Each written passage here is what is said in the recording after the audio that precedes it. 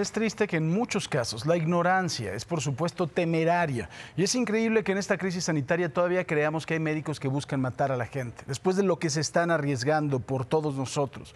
Esto sucedió en el municipio de Paracho, Michoacán. Una familia tuvo que huir de su casa tras ser agredida por un grupo de sujetos encapuchados. Acusaban al padre, quien es médico, de causar la muerte de uno de sus habitantes al inyectarle el COVID-19. Salvador Jasso, que es un estudiante egresado de la Facultad de Odontología de la Universidad Michoacana, narró cómo lo golpearon y lo intentaron secuestrar. Por supuesto, con dolor, con enojo. De verdad, ¿hasta cuándo se nos va a quitar lo idiotas? De verdad, los médicos están tratando de ayudarnos. ¿Qué es lo que le estaba inyectando? Un desinflamante para que pudiera llegar al doctor. Eso ya no es culpa del doctor o que pudiera llegar a un hospital.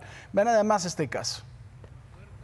Estamos huyendo del pueblo de Paracho porque nos golpearon y nos tocó ver cómo una profesión tal noble que es el ser médico se ha convertido en un delito en este puto país. Todos venían encapuchados, entonces yo les digo que para qué lo quieren, que, que pues lleguen 40 minutos. Y como veo que se empiezan a poner agresivos, pues yo cierro la, la puerta, me jalan, me empiezan a golpear.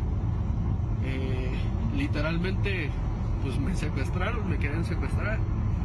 Que pues hasta que no saliera el doctor Jasso me iban a dejar. En la mañana le llevaron un enfermo que no estaba saturando oxigenación, traería neumonía típica.